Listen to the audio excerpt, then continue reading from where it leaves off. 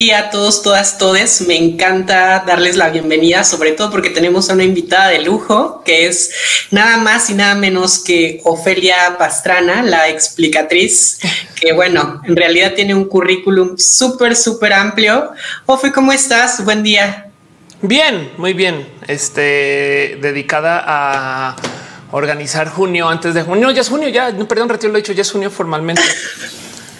Exacto, ya es junio, me imagino que, estás en la locura, pero sabes, en realidad me gustaría comenzar platicando un poquito al respecto de cómo te sientes en este momento como un balance en tu vida. ¿Cuántos, cuántos años llevas ya, Ofe, en la parte viviéndote como una mujer trans?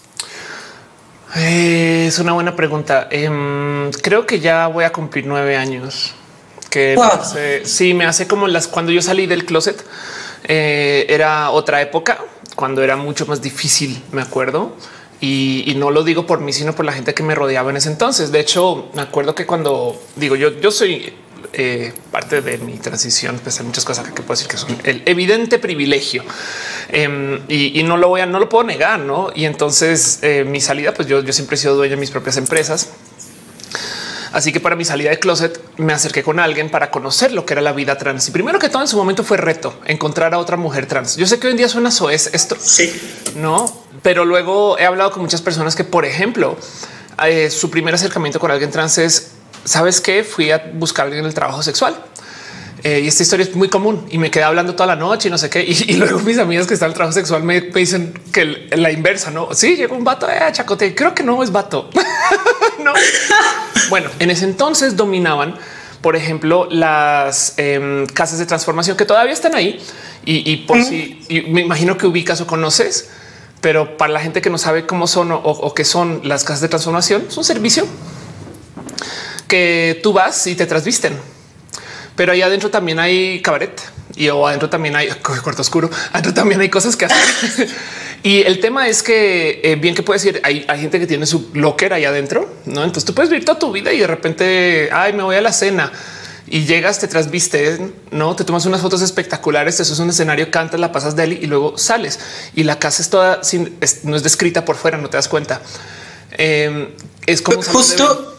Justo así inicié yo, yo inicié en Casa Club Rochelle ah, y literal, pues nada, o sea, yo iba los viernes saliendo del trabajo a Club Rochelle llevaba mi mochilita con toda mi ropa, ah. estaba pensando justo como en ya pagar el locker, porque para ah, mí era como mi, segundo hogar, o sea, todos los viernes yo estaba ahí religiosamente, de las nueve de la noche a las 3 de la mañana, y no sabes qué, qué maravilla para Le mí. Le doy la bienvenida y, acepto y, creo mucho en estos espacios, em, sabes, que, que se prestan para, claro que no, que tienen que existir. Pero a dónde iba con esto? Porque es que de nuevo, volviendo al tema de cómo antes era más difícil, las casas de transformación son un negociazo y son cool. No estamos de acuerdo, funcionan chido. Conoces un chingo de gente, mucho corazón a la casa de transformación. El otro día me topé que en Airbnb tienen un servicio que te trasvisten o te draguean y te llevan a la ciudad como a monumentos a que te tomes fotos. Ay, qué hermosura. Y yo pensaba, wow, cómo hemos avanzado porque quiero mucho las casas de transformación. O sea, no, no estoy para pelear con, el concepto ni para personas espectaculares, pero observar el cómo antes era vamos a una casa donde nadie se da cuenta. No, y, las fotos son en privado y no sé qué lo la y tienes otro nombre y lo que sabes versus te trasvisto y vámonos al ángel, vámonos a restaurantes. Es como que estamos en otra época, sabes? Como que sí queda claro que hoy en día vivimos en otro espacio y eso también le doy la bienvenida. Como que me gozo mucho el cómo ha cambiado, eh, aunque yo sé que ahorita es bien que podemos concluir en dos segundos que todo se fue a la chingada porque esto está difícil, porque las cosas son difíciles. Le doy mucho la bienvenida también al cómo si lo vemos como a 20 años de distancia. Wow, cómo ha mejorado todo. Y esto es parte de. Entonces, en estos nueve años me ha tocado ver muchos cambios bonitos. Eh, el mero hecho de que ya existan varias mujeres trans en el mismo rubro para muchas cosas, para mí yo lo considero un bonito logro de nuestra sociedad, ¿sabes? No, sí, totalmente. Yo recuerdo, bueno, pues a mí ya me está tocando transicionar en una etapa totalmente diferente y qué maravilla poderte encontrar a ti en YouTube, qué maravilla poder encontrar a Victoria Volkova, a Elvira y la verdad es que son referentes muy bellos porque de alguna forma, si nos acercamos a los medios tradicionales en televisión o en prensa, pues usualmente es, la nota roja, ¿no? La, la, nota como trágica. Y de pronto el poder encontrarlas a ustedes en YouTube y decir, claro, lo puedo lograr y puedo, puedo estar en, en mi empresa, puedo hacer beauty blogger, lo que sea, es, es una maravilla. Eh, ¿cómo, sientes que, que los medios han ido abordando en la medida que ha pasado el tiempo? Es decir, nosotras, nosotros hemos avanzado, pero los medios a tu parecer, ¿qué opinas? Uf, ok, medios. Este, vamos a hablar con Laura, el de medios. Em, yo tengo un acercamiento raro con los medios porque yo, yo me volví medio. Me explico. Mi, yo tuve una agencia de comunicación digital. De hecho, yo abrí en redes sociales así cuenta nueva. Eh, arroba Telmex, Telcel, Sanborn, Sears, Motorola de México, McDonald's de México, hasta Ecobici. Abrí yo esa cuenta en su momento. Tuve una agencia, fue grandota de comunicación digital. Entonces tuve acercamiento con los medios, pero el motivo por el cual mi agencia funcionaba es porque teníamos nuestro propio medio. Entonces también creamos medios en línea y yo me empapé mucho de la estrategia digital de comunicación. Eh, eh, y, por eso también me interesa mucho tu historia, porque yo vengo del SEO, yo vengo de este, las digitales, no como que eh, yo soy quien soy en parte porque tengo una bonita estrategia digital donde mi agencia ahora solo tiene una clienta. Ofelia. yo a mí me cayó el 20 mucho tiempo después, porque es que yo tengo una mamá mediática. Ahorita hablamos de los medios, perdón. pues primera parada, mamá mediática. La mamá mediática es una persona que es una presentadora de tele muy cool que me dijo tú puedes estar enfrente de las cámaras y me impulsó a hacer talento de cámara. Se llama Mónica Fonseca. Ella, mi amor por Mónica es mi hermana mayor, aunque tenemos la misma edad, pero pues el punto es que em, Mónica me puso el bichito de que yo podía estar en los medios medios. Y la verdad es que sí, sabes? O sea, pero el tema es que siendo una persona transgénero, em, hay retos, no, no, nada con Mónica. Es más un tema de cómo hay gente que genuinamente no sabe qué hacer con alguien transgénero como yo y supongo que como tú, porque quieren una historia específica. Y todo esto me tomó mucho tiempo verlo, tanto que lo vi el año antepasado. Pero yo, y voy a ser acá muy directa con esto, yo pedí chichi a los medios masivos por mucho tiempo. Escritos, acceso, tengo acceso a todos los escritos que quieras. En video, hay un poquito, pero si bien nunca me ofrecían un puesto en video como presentadora, también puede ser que no doy el look, no? Pero si bien no me ofrecen que, está culero, bueno, no me ofrecen un puesto como presentadora, eh, sí me invitaban. Entonces, por ejemplo, tuve un caso en particular donde una vez pasé un casting y, me dicen ven a la grabación. No llego, cámaras, luces, microfoneo, no sé qué. Entre el director, me ve y me dice es que no te puedo poner, yo, te, yo no te puedo poner a ti en la tele. Y yo así de chale, güey. Ahora, ojo, porque la televisora en la que representaba este director el año siguiente, aunque algunas en radio y otras en escrito, pero el año siguiente me invitó a estar ahí por lo menos en más de 45 intervenciones. Entonces yo pensaba, al cerrar ese año, cuando me di cuenta de la cantidad de entrevistas que di, que, a veces son dos por semana, tres por semana, eh, eh, eh, luego, luego me senté y tuve un momento de si hubieras tenido un magazine semanal, son 45 apariciones en el año. Entonces, que se coma su sombrero y sus zapatos este pendejo que salió a decir que yo no te puedo poner en la tele si la misma televisora me está poniendo en la tele, solo que bajo calidad de, de entrevistada. Y entonces, ¿qué pasa con los medios? Quieren apoyar, pero solo tienen una narrativa y es de que ser LGBT es doloroso y es un problema. ¿Por qué hacen esto? Bueno, hay que visibilizar, no? Pero es que es moralina la narrativa. Sabes? Es un castigo, sabes? Es como de ay, pobrecita, que pero mira cómo se superó. Y entonces en eso te la vende como inspiracional, pero no avanzan de ahí. Y me tomó mucho tiempo entender por qué no avanzaban, porque es que, a ver, si tú aceptas que hay gente trans en el mundo, lo próximo es platicar acerca de temas más exquisitos, sabes? Pero se clavan en cómo es tu transición y entonces tomas hormonas y, y, la cirugía. Sabemos de la cirugía, sabes? Es como de ya. Y para rematar en misoginia, no? Porque les interesa más quién eras antes de transicionar que después. Fíjate cómo hay mucha gente que no sabe bien qué hace la gente trans. Eh, Sabes como que tipo saben que Victoria transicionó y qué hace. Eh, es porque no hablan de lo que está haciendo, hablan de quién era. Y entonces, si lo piensas en esencia, consérvate mujeres trans, es porque les interesa más el hombre que la mujer. Es más, es porque les interesa más el hombre que no quiso ser hombre que la mujer que es ahora. Entonces también eso está ahí presente. Pero luego entonces te comienzan a hablar acerca de todo el sufrir. Y el problema es que hay que hablar acerca de eso. Pero un día me percaté que el problema es este. Y es bien, es un problema que desde estrategia de comunicación está muy roto. Asumen que esa audiencia está tonta. Me explico. Tú llegas y lo primero te explicas totalmente. me encanta. Es, de, llegas y lo primero que te dicen, uy, pero bájalo. O sea, no, no, no pansexual. Uy, primero explícanos qué, es eso. Es como no heterosexo, sabes? Y el tema es que, claro, si hay gente que no sabe, pero el momento que te piden que le bajes a la inteligencia de tus contenidos, entonces, en esencia, para la gente que no quiere aprender, ya igual no les interesa. Para la gente que sí quiere aprender, ya lo saben o saben cómo buscarlo.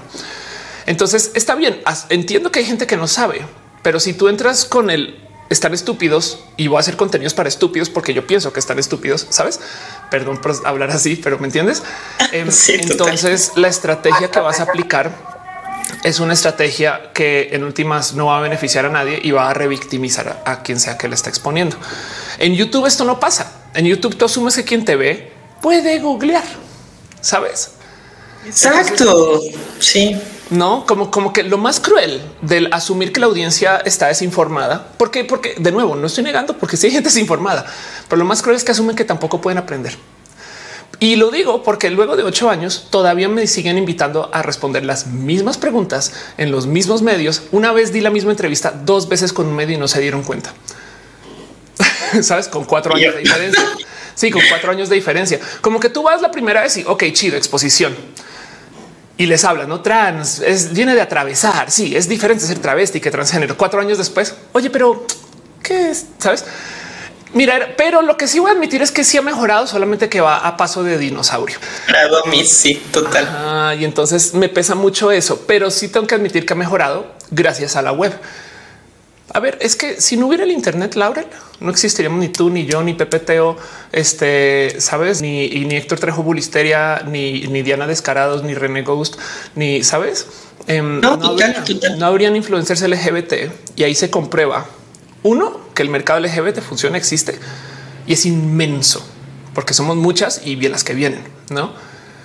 Y dos, que los medios están idiotas. o, Sí, o a propósito se quieren perder de esto. Que quieren aprender, bueno, que ojalá aprendan, sí. Pero hijo, es que meten las patas y ya van tantas veces que las metes que dices un poco de ya no sé si sabes, es como ay, es como cuidar, cuidar ese gato necio, sabes?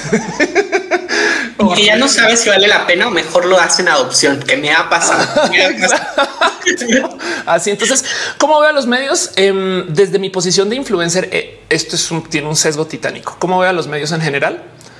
Para mí los medios en la época actual son un influencer más, porque están preocupados por este, su viralidad y están preocupados por sus reacciones y su SEO, que es lo mismo que cualquier influencer en vez de estar preocupados por la misión, el mensaje, reportar, sabes, estas cosas que los o la investigación, estas cosas que les define como medios y no como influencer. Y entonces al ser al ser influencers, si los viéramos como influencers, si los pones al lado de no sé, Luisito, pues son influencers chiquitos. Entonces, ¿qué tienen los medios y cómo les veo? Tienen glamour. Y, y a veces vas a sus grabaciones o voy y veo que tienen staff de 20 personas para lo que yo hago sola en casa juegues. Entonces también la otra cosa que veo con los medios es que tienen una, una necesidad de gasto. Digo, por supuesto que hay que contratar, qué bueno que le trabajo a gente, pero es neta que necesitas a seis personas para la cámara, las luces, el prompter, no como que eh, este de nuevo roja se hace a una mano tres cámaras y yo hago mi switcheo de investigación y pongo, sabes, no todo tiene que ser como roja, no bien que o sea, sería chido que una persona me ayudara, pero eh, a eso voy como que yo a los medios como un influencer mal llevado no? Y, ojalá y, le aprendan y le muevan. Pero si es un hecho que si un influencer de esquina trata mejor la diversidad que un medio, pues todavía nos falta. Pues sí, te vas a ir más. Eh, por acá nos dice Jorge Galesi, ¿por qué creen que los medios tratan tanto de frivolizar o erotizar a la comunidad trans? Y es un poco también lo que, lo que yo pensaba ahora es, bien dices que siempre están como en, la nota roja o en la tragedia, pero en el mes de junio particularmente, Ofe, me, pasa que pienso que hacen todo lo contrario, ¿sabes? Que es, eh, vamos a olvidar como toda la parte negativa que hay alrededor de, o la parte de problemas de afrontar situaciones de la comunidad LGBT, y vamos a mostrar que todo el mundo es súper exitoso, todo el mundo encaja en los cánones de belleza y claro. nos vamos a vender. Em, no, ¿No sientes por ahí que hay como una contradicción muy fuerte y que, también perjudica? Sí, en junio se van con el pinkwashing a todo lo que da, ¿no? Aún medios LGBT, de hecho, eh, digo, los medios LGBT más irresponsables hasta te ponen en un espacio y no te no, consideran que tú eres su contenido y no te pagan, no? O sea, como que eso es como de hey, ni siquiera en junio, pero em, eh, yo lo reduzco de nuevo a esto. De nuevo, es que en tele asumen de su audiencia algo que no es verdad. Y es que no solo asumen que su audiencia no le sabe, sino asumen que es blanco, hetera, familia.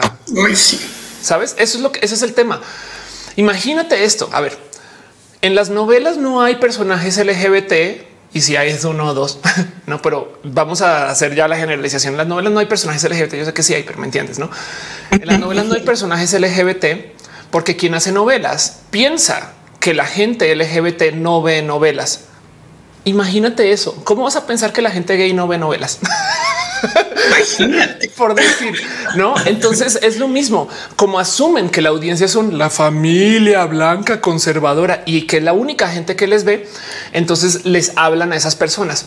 Y yo aquí es donde pregunto, ¿es neta que su audiencia es la familia blanca conservadora? ¿Sabes? Arranquemos por esto.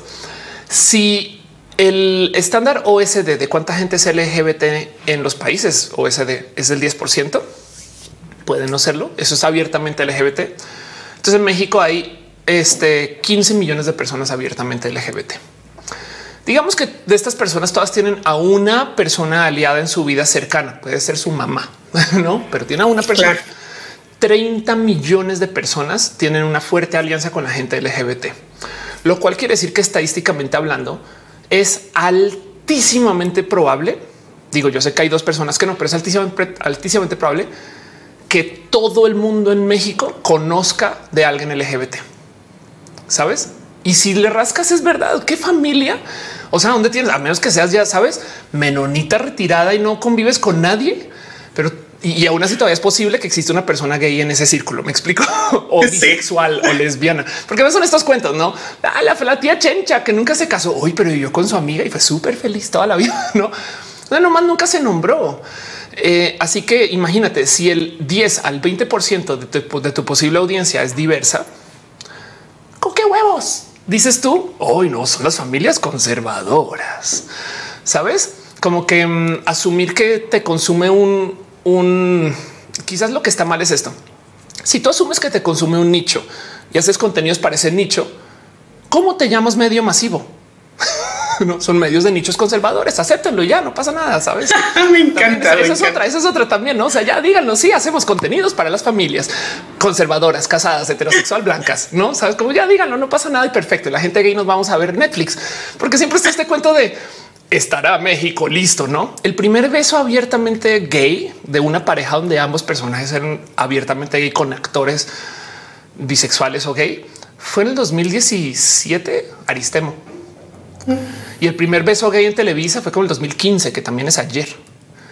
Y entonces la gente siempre sale a decir estará listo México. Y mientras tanto Netflix mostrando estas orgías multidimensionales con gente de 19 géneros y es como de claro que está listo, güey. Es solo que tú juras que tu audiencia es esa familia conservadora. Juras, juras, porque yo creo que si tuvieran inteligencia de audiencia, se darían cuenta que no necesariamente.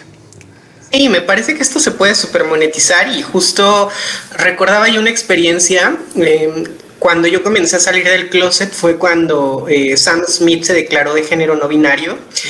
Y recuerdo que yo quería llevar la nota en ese momento como Sam Smith pide que sus pronombres sean ella, ¿no? Y tal cual, así como tú lo indicas, fue, no es que la gente no va a entender. Es que cómo lo podemos hacer de otra manera para que, para que sea más comprensible. Y, y, a mí me explotó en ese momento la cabeza y fue tal mi coraje que de verdad ese día salí del closet con uno de mis mejores amigos. o sea, dije, ya, esto no puede seguir pasando. Claro. Y es que además imagínate que lo hicieran con otros rubros, ¿no? De repente salían a decir, el PAN como partido se rompió en dos no el partido que es Acción Nacional, Partido Acción Nacional y el Partido de Acción Federal, no el PAN y el PAF. Y que de repente dijera alguien, uy, no, eso es muy difícil. O eh, no van a entender por qué no dices el pan y el no pan. Sabes es como de en qué momento tú eres un medio y optas por no informar, porque es muy difícil, sabes? ¿No? Sí, no, es, es una locura. Oye, por otro lado también, ¿Cómo piensas que ha avanzado el tema de acceso a la salud para las eh, personas trans? Creo que sobre todo estamos mucho más visibilizadas las mujeres trans, pero muy particularmente en el caso de México, ¿qué, opinas tú al respecto de este punto? Bueno, el tema es que em, es muy fácil saltar a decir que está peor que nunca porque tenemos más visibilidad, ¿no?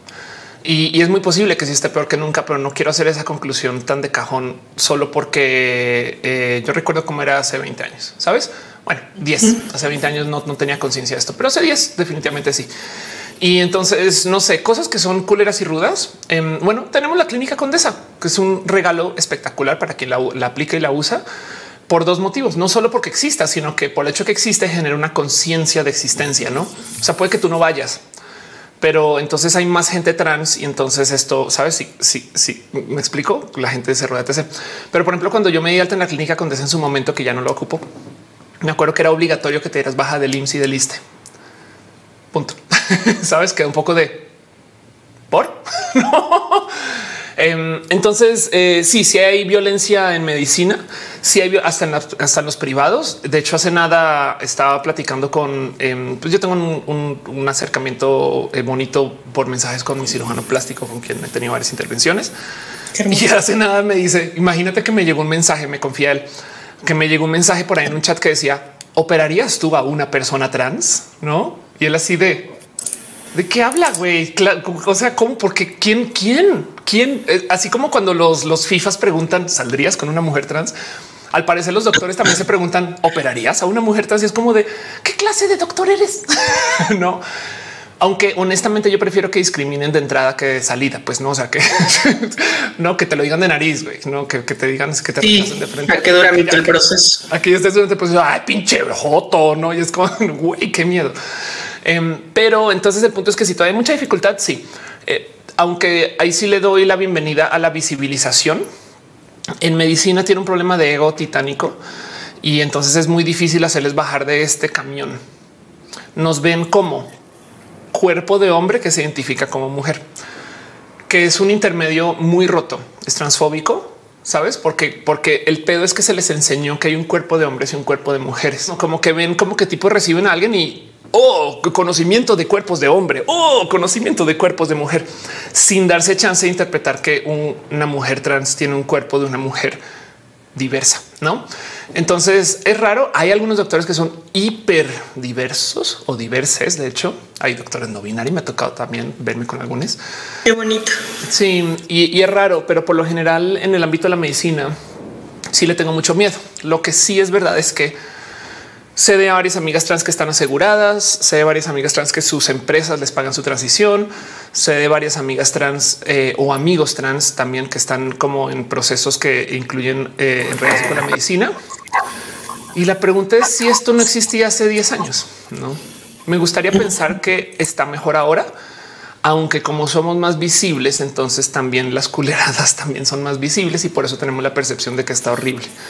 Pero como me gusta agarrarme de lo bonito, voy a decir está mejor, solamente que es marginalmente mejor y lo peor lo vemos. Y a lo mejor verlo también es una seña de mejoría, porque entonces se comienza a enfrentar. Sabes, antes ni se veía, ni se hablaba de. Estaba pensando justo en algo que comentas muy importante es cómo la medicina y la psicología y vaya, son ramas muy importantes para las personas trans, pero que están sumamente atravesadas por una visión muy cis heteronormativa de, cómo tendrían que ser los cuerpos y las vidas, ¿no? Y entonces creo que ahí también es una chamba muy importante que les toca hacer a las universidades, que igual que en la medicina es con el periodismo, porque de pronto es como pues están formando a la gente de una forma súper tradicional y cuando llegan a su ejercicio es como y ahora cómo cubro este tipo de información, jamás tuve las herramientas, ¿no? Pero pues nada, y también les tocaría a los medios y a las a los hospitales como capacitar a su gente. Fíjate que yo siempre he dicho que ser trans es ponerse un filtro de pendejos. Entonces sale a relucir quién está bien idiota y quién está extra idiota. Eh, no más por y, la gente extra pendeja ya ni siquiera se acerca contigo. Entonces ganas tú, no? Porque te, se alejan los extra pendejos. Pero lo mismo me pasa con temas de todo aquello relacionado con el saber. Si les complica entender el tema trans, entonces automáticamente yo también pongo en duda su saber base. Y, y lo digo porque si un medio, si un youtuber puede manejar mejor los pronombres de Sam Smith que un medio profesional lleno de gente periodista con grados en investigación, entonces claramente ese medio no solo está metiendo las patas con la diversidad. ¿Sabes cómo nos estarán reportando de eh, eh, el tema del ah, corte de agua? Porque, porque tiene que cambiar la tubería. Eso también es un tema hiper complejo. Pero si la rigurosidad que le dan a hablar del tema de género está así de pendejo, entonces con qué, cómo quieren que yo diga, ah, pero nosotros sí le saben. No, lo mismo con medicina. Si un doctor le cuesta mucho, no más los pronombres, quiere decir que no ha enfrentado todo lo que viene con el tema de medicina de las transiciones. Y es que, a ver, seamos honestas. Parte del motivo por el cual hay tanta gente trans hoy y nadie recuerda conocer a una persona trans en la escuela es porque de muchos modos llegó la ciencia para transicionar. Se volvió barata, no accesible. Tenemos la información, hormonas, cirugías, lo que sea, como sea que quiera transicionar cada quien. Pero el punto es que eh, llegó la ciencia, sabes? Es como decir llegó el celular, no? Claro. Entonces, en esencia, si un doctor no ha enfrentado el tema de género, quiere decir que no se ha actualizado, porque hay mucha ciencia detrás de lo mío, sabes? Un chingo. O sea, yo me peré la voz. Y entonces claramente hay un chingo de cosas que han pasado que son desarrollos de la ciencia. Y si un doctor no lo ha enfrentado, quiere decir que no se ha actualizado con esto. Que entonces es como si yo de repente, si tú vas con un doctor y te dice, no, no me llames por, no me escribas un mensaje, sino mándame un fax. Es como de, güey, qué miedo, porque entonces, ¿qué tipo de anestesia planeará usar? La del 1980, ¿qué tipo de prácticas planeará usar para cauterizar la de 1990? Sabes, es como que claramente no se han actualizado en muchos rubros. Y así veo yo a tantas de estas personas que, o sea, el problema está de ese lado y, sabes que, que la sufran, porque pues también si su universidad les está enseñando programación del 2000 para un mundo en el 2021, pues perdón, no, este para qué pagaste el grado, pues no. Y entonces en eso yo me veo desafortunadamente quien sale afectada soy yo, porque la odontología de los noventas le sirve a mucha gente. Este, entonces algo discriminada yo, pero de entrada también me dice mucho de la persona profesionista que si le cuesta mucho el tema trans, entonces es muy probable que es una persona que nos haya actualizado. Y eso, eso, eso, eso me lo llevo entonces al como yo y por eso soy tan proponente que nosotras personas de la diversidad hagamos nuestras propias cosas, sabes? Como que por eso apoyo mucho tu espacio. Me parece espectacular que exista lo que tú estás haciendo. Cuando yo comencé a hacer comedia, por ejemplo, me acuerdo que era la única comediante trans y por eso no me retiraba. Hoy en día hay dos mexicanas y una española. Tampoco es que seamos muchas, pero bien que puedo decir hay más. Entonces mi misión como influencer, como persona es dar la mano en donde pueda para que seamos más personas de la diversidad. Porque esto cuando yo salí del closet es la verdad, Laurel. A mí me decían si te va bien, conoces a una persona trans con grado. Y, y de paso no que sea, no que tener grado te haga mejor, no Ojo, me explico. Claro. todos mis socios en mis mejores emprendimientos han sido personas que nos han graduado, pero em, el tema es que me lo decían como en tono de es que no vas a encontrar a nadie que tenga trabajo, que tenga grado, no? Y ahora ya es una realidad que, o sea, perdón, hay, hay mujeres trans profesionales en muchos lugares y, y, en eso yo creo que por eso abogo tanto porque hagamos nuestra propia fiesta con juegos de estar y mujerzuelas, porque no estamos batallando, o sea, porque usamos el celular y no el fax. Me explico solo por existir. Claro, yo quiero agradecerte muchísimo, Fe, porque me queda claro el, apoyo y el esfuerzo que siempre brindas a tantos proyectos de, gente trans. Y es que justamente ahora a mí me pasa también algo eh, como similar en el sentido de que digo, bueno, pues me parece inaudito que no haya más periodistas o que no haya más gente eh, ejerciendo como nota dura, reportaje eh, entre nuestra comunidad trans, que además me parece súper necesario cuando en países como Estados Unidos está ocurriendo todo lo que está ocurriendo para mermar los derechos de las personas trans. Entonces, si los medios de comunicación no se permiten tener en sus filas a gente de la diversidad, también están fallando como tú, como tú lo dices, ¿no? Este. te hago una pregunta. Déjate de gente trans en el mundo de la redacción o del periodismo o de la investigación o de los medios hay gente, y ojo, ojo aquí, abiertamente LGBT. No que sea gente gay, no, abiertamente. sabes que todo el mundo sepa que es gay. o es que sabes, lo, lo, pensé porque cuando yo me vivía como hombre cis gay, pues tampoco es que, lo viviera tan activamente como ahora me vivo, sabes? Porque ahora claramente todo el mundo sabe que soy una periodista trans, pero antes no me decían el periodista gay o el periodista homosexual, ¿sabes? Entonces, sí es como, como bastante un poco complejo que pues el resto de la gente de la diversidad de alguna manera está asimilada, pero bajo una condición de, pasar un poco desapercibida, ¿sabes? Mm, como de esos temas no se tocan tanto. Eh, ajá, y tiene mucho sentido con lo que decías hace un momento, porque de pronto hace unos años las personas trans eh, que, estaban en escena era como que tocaban varios temas, pero no necesariamente lo trans, ¿sabes? Y de pronto ahorita ya estamos en, un, en una etapa en donde, pues sí, también es algo que nos atraviesa y es algo que queremos visibilizar y problematizar y poner en la mesa. Entonces, qué maravilla, pues este avance. A mí me gusta hablar de la diversidad como si fueran las nacionalidades.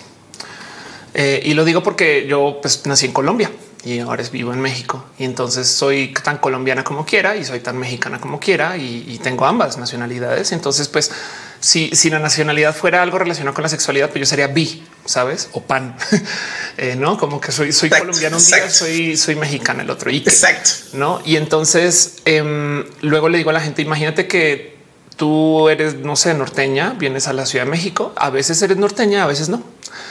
Así como que cuando no había ninguna persona en política LGBT, claro que ahí estaban, pero yo siempre le decía a la gente, yo necesito no solo esto, esto lo decía en mi stand up, yo necesito que sean gay, pero no gay como Peña Nieto. Y, me refiero a que sean abiertamente gay, porque entiendo muy bien a las compañeras que no dicen que son trans y los compañeros les entiendo perfectamente. No, o sea, sabes que, no se les nota. Pero el problema es que muchas de estas personas que están de este lado, que, que el tema trans se llama stealth, muchas de estas personas em, en, un buen de casos actúan en contra de la diversidad para que no se les saque del closet. No, o sea, sí va, está bien, eres esta la persona bisexual de la oficina, pero si de repente un día llega tu jefe y dice pinches jotos, puede que tú también digo, no, no hay ese tu caso, me explico, pero sabes como que yo veo una situación sucediendo donde alguien también le entra a la carrera. Ay, sí, pinches jotos, maricones. No es como de güey, tú, tú sabes, defiende la diversidad. No, pero no lo hacen porque eh, entonces esto les pone más problemas porque entonces ahora se posicionan de allá y no están acostumbrados y acostumbradas a tener la bandera puesta, ¿no? Y esto de nuevo afecta el cómo se habla de nosotros, no? Como que es impresionante pensar que eh, hijo, que tantas cosas no suceden porque, porque se asume, se le da, se le da todo este poder a la familia tradicional, sabes? Es que si lo digo me corren, ¿no? ¿Y por qué te corren? Porque es que nuestro medio es para familias tradicionales, ¿sabes? O, que te pone también en una posición incómoda, ¿no? O sea, yo recuerdo que cuando iba a iniciar con todo este proceso decía, bueno, y me van a seguir tomando en serio, o sea, en las juntas, cuando proponga temas y cuando quiera marcar agenda, me, van a tomar con seriedad o van a decir, ay, bueno, pues esta es un chiste y lo que está proponiendo ser la pinche experta con quien consultan todos los temas de diversidad. Oye, Laura, ¿cómo son los pronombres a ella? Ok, escribiremos ella, ¿no? en, vez de, en vez de problematizar, es como tú la persona que más sabe la diversidad, ¿no? Sí, sí, total. La bandera ahí puesta. Y eso vale, vale, importa mucho. Pero, pero aún así insisto que estamos mucho mejor hoy que hace 10 años sabes? No, yo, yo coincido. Digo, no me tocó estar hace 10 años, pero claramente el panorama me parece que es diametralmente opuesto. Eh, antes de seguir, eh, pues quiero mandarles como saludos a Yeray, a Dan, a Mauricio, a Mauro, perdón. Mauro, haz este, stand-up. Ay, sí, por favor, hazlo ya. Hoy es tu momento. Toma un taller, habla con stand-up, habla con Elisa Sonrisas. Escribe a Elisa, dile, Ofelia me dijo que te escribiera, que quiero hacer stand-up o, a, o, a, Rache, Raquel Aedo. Yo voy a estar ahí en todos tus shows, te lo prometo. Este, oye, Ofe, también algo que me, encanta mucho cuando yo me comencé a acercar a tus contenidos es como, pues no sé, esta serie de, consejos de vida que das más allá de lo que tiene que ver con la diversidad. Hace poco me chuté tu, tu, tu video sobre, bueno, ¿qué, ¿qué pasa si no sé hacer con mi vida y ya tengo 30 o ya tengo 40 o lo que sea.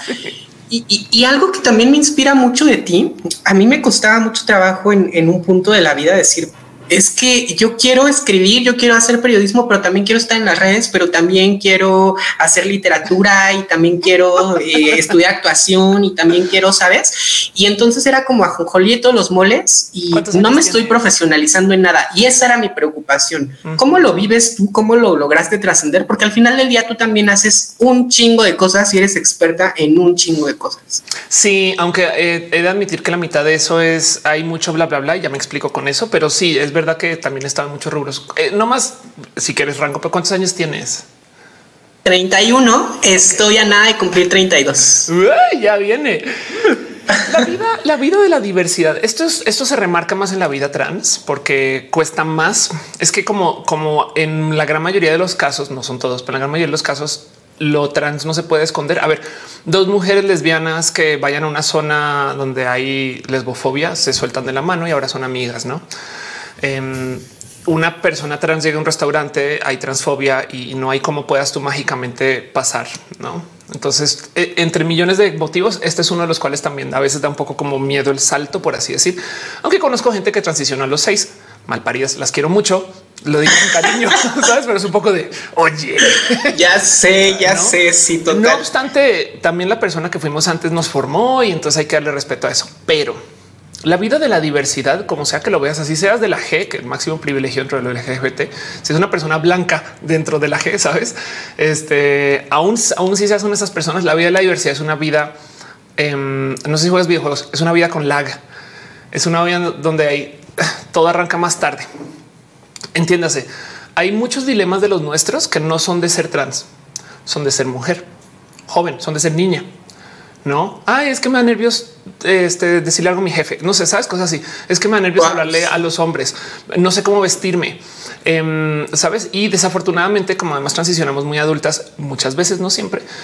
Entonces tampoco tenemos una mamá que nos diga no te tienes que vestir así para no sé qué o, o arréglate. No, como que no la tenemos. Tenemos a veces amigas que nos no y eso, pero, pero pues como que las, las mujeres cis muchas veces enfrentan esto, digamos que de los 6 a los 14 con familia atrás, que no, no siempre ayuda, me explico, ¿no? por decir que no, o sea, no, no, no, o con amigas, ¿no? que tampoco no siempre ayuda. Pero el punto es que lo ven desde mucho antes. Sé de una amiga que llegó a los 30 años sin besar y sin acostarse con nadie por su extrema disforia genital. Y entonces sale del closet y ahora todo el mundo está en sus manos, ¿no? Y, por eso, por eso insisto tanto que parte del problema es que como les encanta revictimizarnos, todos los contenidos trans son acerca de cuánto sufrimos. No he visto todavía la primera película trans donde por salir del closet se te arregle la vida. Que déjame decírtelo, es lo que pasa. O sea, pasa, muchísimo. Y, y comienzas a aprender cosas muy bonitas de ti. No, mira, estereotipos trans. Te das cuenta que muchas parejas o gente con quien estuviste o con quien amistaste era realmente gente que, con quien querías ser. es como de ah, es que no me la llevaba bien con ella, pero es que yo quería su cabello. Sabes, esto pasa mucho en la vida trans. Em, o la otra es eh, te proyectas con tu la carrera de esa persona. No es como de es una vida que yo podría tener, pero tú no lo sabes en ese entonces. Antes en el Internet, cuando no ha salido, te dicen que eres un huevito y luego rompes la cáscara. Entonces, cuando eres bebito, em, como que te acercas con mucha gente porque, porque como que quieres ser esa persona, ¿no? Y esas son las amistades tóxicas que muchas personas tras hemos tenido en la vida porque realmente no quieres amistad. Em, y entonces, eh, no sé si te pasó de paso, pero el punto es que eh, cuando por fin sales, quieres hacer la vida de tu amiga que odiaste y la vida de tu exnovia y, y la vida de tus sueños que nunca pudiste cumplir. Y además el salir del closet rompe con todo. Entonces, porque te quedaste sin familia, sin trabajo y sin amigas y tienes que volver a construir. Y al construir es un positivo. Sabes? O sea, está la chingada que te todo el mundo te da la espalda. No lo niego, pero cuando tú construyes, construyes bajo tu diseño. Entonces ahora se dice, entonces ahora sí voy a ser piloto de carreras. No sé, sabes, ahora sí voy a tocar guitarra. Yo eh, me explico como que mm, eh, de repente quieres, tienes 12 años, 15 años, 20 años, 30 años, 40 años de deseos que además nunca has aceptado que fueron deseos y lo quieres sacar todo. Entonces hay que darle espacio a eso. Porque si te das cuenta, hay mucha gente que comenzó desde los cuatro años a probar si quiere ser guitarrista, no le gustó, quiero ser bailarina, no le gustó, quiero ser no sé qué. Y acabó trabajando en la NASA como ingeniera, no? Pero, pero ese tramo le tomó 15 años. Ahora, em, de modos no despectivos, yo siempre digo que los años, sobre todo los primeros años trans, son años perro entonces tu primer año, o sea, como que si llevas un año de transición ya tienes tres. ¿no? Estoy en mis años perro, qué maravilla. Sí, en tu segundo año de transición ya seis, siete y vas a lidiar con los dilemas de una niña de seis, siete. Al comienzo de todas las transiciones, fíjate que lo que más queremos es el pony, el glitter, no? Y, luego mucha gente se calma, no todo el mundo y está chido eso también, no? Pero somos muy niñas chiquitas, pero a los 30, no? Entonces eso también le entra a este deseo de cosas que quieres hacer. Y, entonces el cómo lo lidio yo. Lo primero es aceptar, porque como ya somos adultas, también tenemos presión de que todo lo que tenemos que hacer tiene que ser profesional, sabes? Entonces, y esto ya es nuestra policía de, de, la carrera, no como tipo de, o sea, sí, sí quiero bailar, pero yo no me, o sea, ¿cuánto me va a tomar ser bailarina profesional? Ahí el error. Hay que aceptar que hay deseos que son solo deseos que nos tenemos que quitar la espinita. Lo que pasa es que tenemos todo un espinero, no? Y, lo mejor es entender que vamos a hacer picaflores de gustos. Eso es muy bonito. Yo me retiré del stand up formalmente ahorita. Me bajé del show de True Colors eh, porque no he hecho comedia en mucho tiempo y ya por fin lo enfrenté. Amo el stand up con todo mi corazón, pero ahorita quiero ser generador de contenido pero en los años que le dediqué me quité una espina de escenario inmensa. Y entonces he aprendido que lo mejor que se puede hacer es aceptar que son deseos y es de niñas chiquitas. Entonces toca actuar como niñas chiquitas. Quiero esta paleta y malcriada. No, ya, ya la tuve. Va. Ahora esta otra. Ah, ya la tuve. Va y gozarse ese proceso, aprender a soltar, dar reversazos, sabes? Eh, entra de lleno, sabes? Como que tipo de quiero pintar, güey. Entonces te lo tomas en serio y luego a las dos semanas lo abandonaste. Pero entonces lo que hay que quitarse de ahí es la culpa por el abandono. Es ya lo abandoné, ya lo probé, me quité la espinita. Vámonos con lo próximo. Ahora quiero aprender a cantar, no? Eh, eh, o a lo que sea. Em, y, eso yo creo que es parte de la belleza de enfrentar tu espacio identitario, porque no solo es trans. Me he topado con gente que de repente se topa con que ah, es que soy bisexual y ya que se dan cuenta, pues te das cuenta, entiendes tú que tu vida antes de salir del closet era andar como Goku entrenando con un caparazón todo pesado. Todo era muy difícil. Entonces te lo quitas y ahora de repente, güey, no mames, puedo correr un chingo, sabes? y por eso nos asusta tanto, porque, porque si nos descuidamos, acabamos este, bailando tap eh, en el World Trade Center. Me explico. no, pero luego el otro lado es un pues qué bonito, güey. No es como de pues, una no salió del closet para ser gris también no? Exacto, exacto. Entonces, en eso, como lo lidio, me doy chance de hacer picaflor de gustos.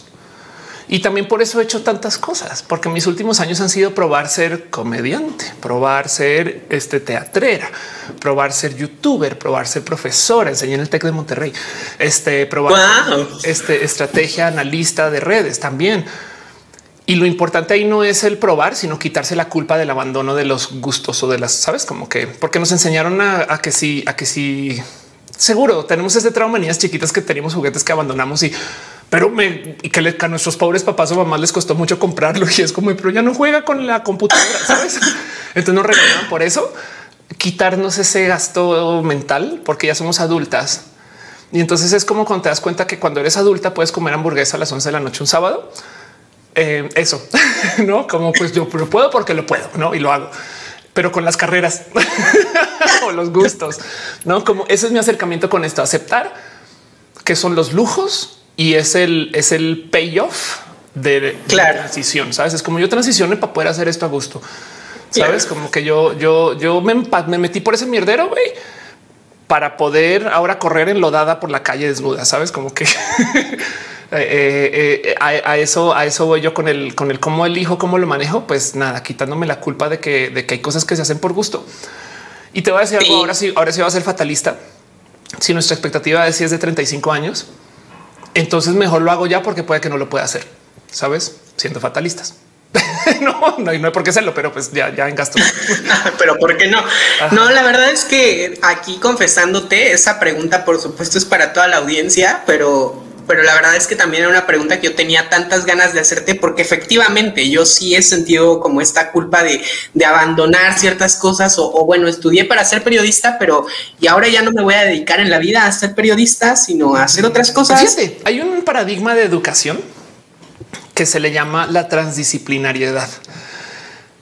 Y esto lo vi cuando yo estaba en el TEC. Ahora, primero que hoy eres trans, obvio te va a gustar la transdisciplinariedad, pero lo que te enseñan en todos lados es a ser multidisciplinaria, no es las universidades cool son multidisciplinarias. Las universidades me son disciplinarias. Entiéndase, te quieren enseñar una carrera y te vas. Ahora en día se le llaman vocacionales. Las universidades multidisciplinarias son las que te dejan estudiar dos cosas no? Entonces, tipo de estudié derecho y literatura, sabes? No sé, eh, eh, o deporte y este, no sé, y nutrición que, pueden ir de la mano o no, pero son dos cosas por aparte.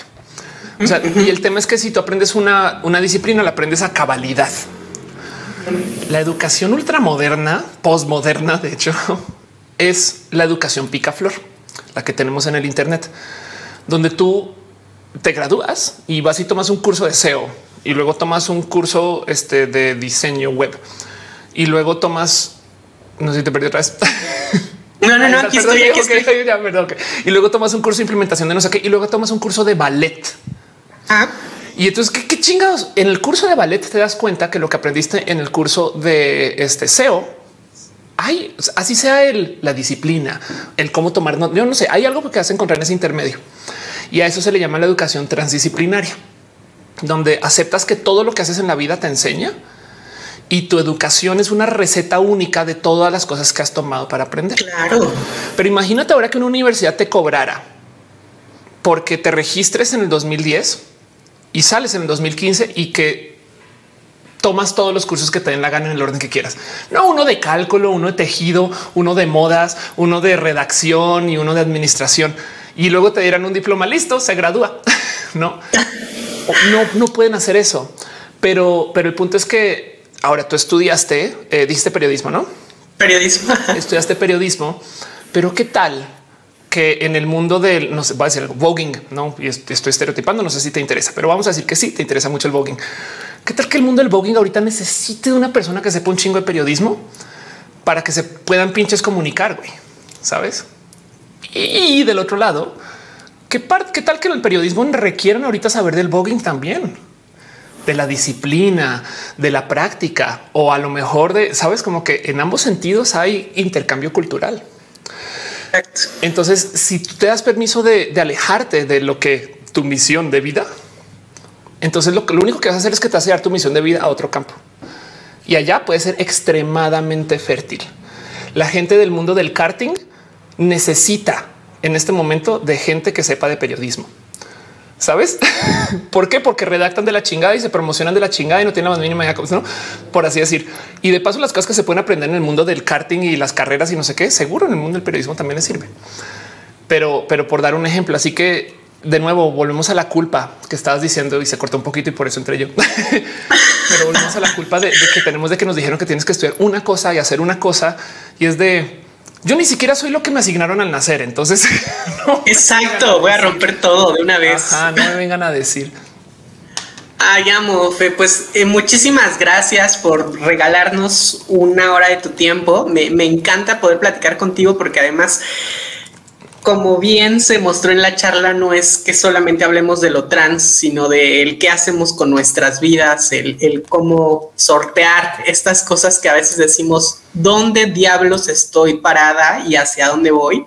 Entonces, Ofe, qué, qué bonito saber que estás entre nosotros en la comunidad trans, en la comunidad diversa. Y pues nada, esperemos poder volver a platicar muy pronto. No sé si quieras agregar algún mensajito como de ánimo para la gente que, que, no, es que sabes, siempre me pasa que, sobre todo ahora, me dicen, es que yo no sabía como si realizar o no mi transición, porque sentía que iba a ser muy difícil, pero verte tan contenta y que estás haciendo tantas cosas en, las redes me, da como esta sensación de sí, lo voy a hacer y claro que puedo. Entonces creo que tú eres el mejor ejemplo para justo darle ánimo a, toda la gente que viene. Bueno, lo primero es em, dejar ahí en claro que todo el mundo es trans de un modo u otro. Lo que pasa es que se escandalizan cuando transicionas de género, pero a ver, yo soy transnacional, se me asignó una nacionalidad cuando nací. No la quise, no la pedí, pero me lo dijeron. Y por asignarme esa nacionalidad, entonces hay reglas de comportamiento que yo rompí y me identifiqué como si fuera otro país. Y luego fui y llevé a cabalidad mi transición en que viajé, cambié, de paso cambié quién soy, cómo hablo y esto todo antes del tema de género. Mi nuevo país, México, me dio un documento que me avala que ahora soy de acá, aunque no haya nacido acá. Y todavía hay gente pendeja que me dice, pero tu genética no es, ¿sabes? Este, o, así como nos culpan de es que la socialización masculina, a mí a veces me dicen es que tú no eres tan mexicana. Eh, esto, esto también lo decía mi estando porque no te criaste comiendo dubalín, no em, sabes como que no te pones trucha. Exacto. Sí, sí, total. Como que em, el proceso es exactamente igual. No más que el género escandaliza porque no estábamos acostumbrados, acostumbrados a tener la tecnología para poder atravesar el género. Y hay muchas preguntas profundas que hacernos con el tema de género que, nosotras sacamos a relucir. No, ni de lejos somos las protagonistas de la discusión de género, pero la sacamos a relucir. Eh, pero, por ejemplo, hay mucha gente, todo el mundo modifica su cuerpo no gym, dietas, no este todo el día. O sea, se ponen brackets, todo el mundo modifica su cuerpo, se ponen, lentes, ponerte lentes es ir en contra de la biología. Y, del otro lado, eh, todo el mundo quiere cambiar sus carreras. Me acuerdo de hablar con alguien que me decía es que soy doctor, pero quiero ser saxofonista y no sé cómo decirle a mi familia. Y es una salida de closet. No sabes. Y el proceso es el mismo. Los consejos para cómo salir del closet trans son iguales que el cómo salir del closet con tu familia, con que ya no voy a ser doctor. Em, y no, más que el género escandaliza a la gente. Entonces, lo primero que me gustaría decir es eso. Recordemos que todo el mundo está en procesos de cambio y por consecuencia, eso es lo que nos añade lo bonito y el gozo de la vida. Tener la mente abierta a lo que queremos y cómo nos vamos a, porque a veces también está el famoso cuento de yo me identifico como millonario, pero soy pobre. Yo di que estás haciendo por tu transición, no? O sea, yo me sabes como que pues claro que tienes el sueño de ser una persona millonaria, que no sé si es válida o no, pero pues no importa, no te va a descalificar. Entonces, a ver, a ver, tú a ver tus fotos de progreso, no?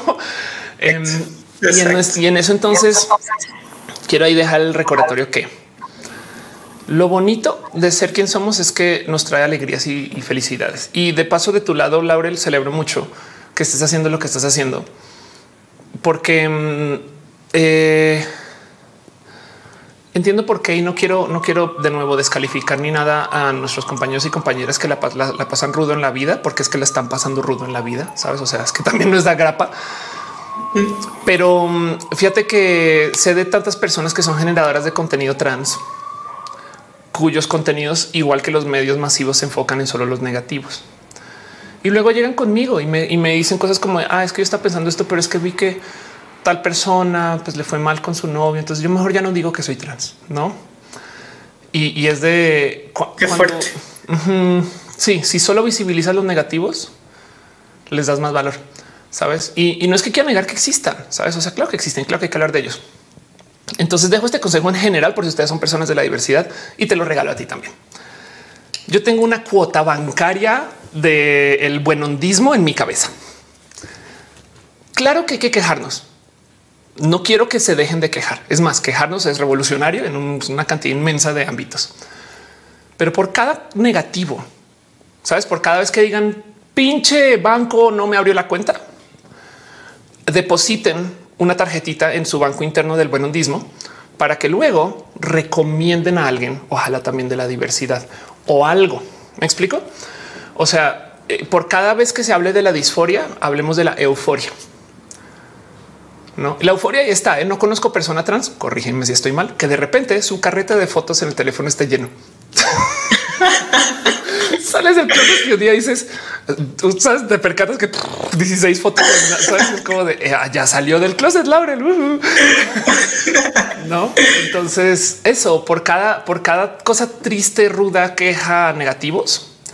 Em, también hablemos de lo positivo, porque tristemente eh, las desaparecemos. De hecho, a veces es difícil pensar en qué recomiendo, no? Que eso, es un recordatorio de cómo estamos como programados para solo quejarnos. Yo te puedo nombrar todas las terfas de memoria, pero a las feministas interseccionales a veces me cuesta. No, y es como es posible que lo que yo quiero no sé bien quiénes son y lo que no quiero, o sea, la recito en mi sueño. Pues claro, porque me cagan, no también. Pero el punto es que es que esa disciplina de también hablar de los positivos, eso es lo que le hace falta al rubro de la visibilización, no eliminando los negativos, porque hay que hablar de eso. Pero entonces si les puedo dejar un consejo y en general para la vida, cada que se quejen de algo, piensen luego en, pero esto, esto sí funciona. Saben? Así sea algo nada que ver. Me explico, es tipo de, eh, no sé, pinche coche está la chingada, otra vez no arranca, no sé qué, y tuve que salir y caminar. Y en el camino por lo menos dar un poco de, bueno, pero me estoy hablando con mi mamá, que no lo hacía, ¿sabes? Como que hacerse ese esfuerzo consciente y colectivo de buscar los positivos también es necesario. Y, como generadoras de contenido, híjole, lo peligroso que le es para las personas que están acostumbradas a que solo se hable de nuestros negativos, como que también les cala mucho que seamos felices en público. Y eso yo creo que eh, es, bien, eh, hoy le decía, es, es bien terrorista. Sí, que, les impacta que amemos nuestro cuerpo, ¿no? Porque como que la idea es, les trans se odian, se odian y no se aceptan. Es como, wow, claro que no. Total, sí, no, de hecho, yo, yo, yo porque amo mi cuerpo declaro hegemonía sobre él y lo modifico a gusto. Eso es ser body positive. Tengo una relación positiva con mi cuerpo, ¿sabes? Sí. ¿No? Y, y les caga, les choca porque están acostumbradas, acostumbradas a que ser trans es sufrir. ¿Por qué? Medios, ¿sabes? Total.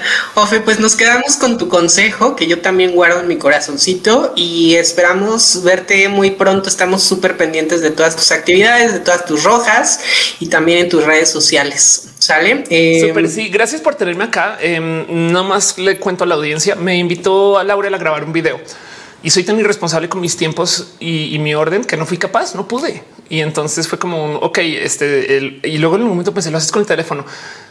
Me pareció tan mediocre que fue de no nos podemos entrevistar en vivo y enos aquí. Entonces, gracias por tenerme acá. La verdad es que me gozo mucho lo que estás haciendo. Soy tu fan mil veces. Tu euforia es espectacular. Contagias un chingo. Em, se goza mucho tu disposición de, eh, confrontar también. No? Em, pero sobre todo se goza mucho el ver que, la pasas bien, sabes? Y como que se necesita, no sé, a mí a veces me da un poquito de, pero Laurel está feliz. Ay, qué hermosura, qué hermosura. es que sabes, como cerrando esta idea que tú decías, siempre pienso si estoy haciendo la transición, si estoy transicionando es porque quiero ser feliz. Entonces, ¿por qué me voy a amargar la vida? ¿Por qué lo voy a vivir desde la tristeza?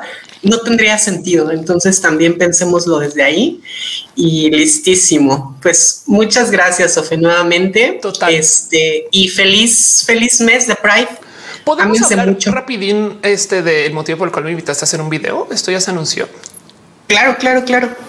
Porque ¿Cómo? ¿Cómo? No entiendo. Es que Laurel me comentó que iba, me, comentaste que eh, ibas a lanzar un espacio y no sé si Sí, sí, sí. Lancé justo, bueno, lanzamos transvoices.com.mx, que está en línea desde ayer. Es una tribuna de y para personas trans y la idea es que sea un espacio catártico para toda la comunidad trans, que somos multifacéticos, que somos ajonjolí de todos los moles, como ya lo estábamos diciendo hace un momento.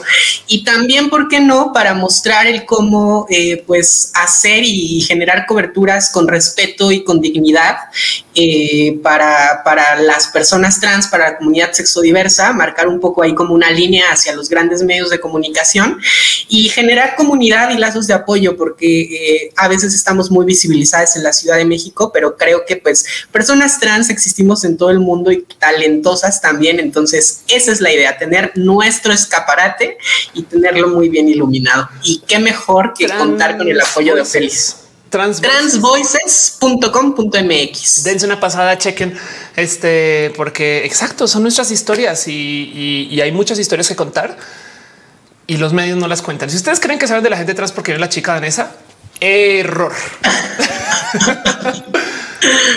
exacto, exacto. Muy bien. Muchas gracias. Qué honor poder ser parte de esto, que son nuestras creaciones, que son nuestras formaciones la gente de los medios va a aprender porque tú les vas a enseñar. Me explico. La gente de las del mundo de, nuestros rubros laborales aprende porque ahí estamos y, algo aprendemos también de vuelta, no? Pero, pero el punto es que aquí es donde está la jugada. Qué chido. Qué hermosura, Fe. Te, te amamos mucho, te mando muchos abrazos y nuevamente gracias por estar por acá. ¿Sale? Transvoices.com.mx, entren, entren ya. compren, compren, compren. Eso sí, descarguen, compren, compartan. Este, abran su grupo de WhatsApp, eh, el que el trabajo y se lo, ponen ahí. Yo no sé, hagan algo. Exacto. Un besote.